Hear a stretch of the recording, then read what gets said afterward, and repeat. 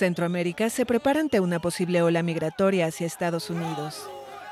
Las autoridades migratorias de Guatemala expresaron el viernes que elaboran la propuesta para atender un posible paso de ciudadanos haitianos, cubanos, asiáticos y africanos que podría ocurrir en las próximas semanas, aunque no se precisó fecha.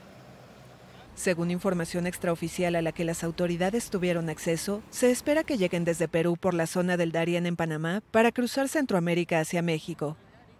La propuesta sería presentada el lunes en un conversatorio regional con autoridades de los países que integran la Comisión Centroamericana de Directores de Migración. El gobierno guatemalteco reconoció que la migración es un derecho, pero debe realizarse de manera segura, ordenada y regular. Miles de personas de varios países han intentado llegar a Estados Unidos de forma irregular huyendo de la pobreza y la violencia. A mediados de enero, policías y soldados guatemaltecos disolvieron por la fuerza una caravana de miles de migrantes hondureños, entre ellos cientos de niños que irrumpieron en la frontera sin presentar documentos ni prueba negativa de COVID-19 exigidas por el gobierno. Los cuerpos de seguridad actuaron bajo un decreto del presidente Alejandro Yamatei que ordenaba frenar su avance ante los riesgos por la pandemia.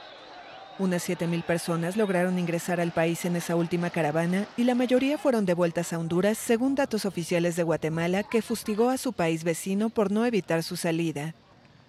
Una semana después, Estados Unidos, México y Guatemala advirtieron que se cerrarían las fronteras para el paso de otras caravanas que han tomado fuerza desde octubre de 2018.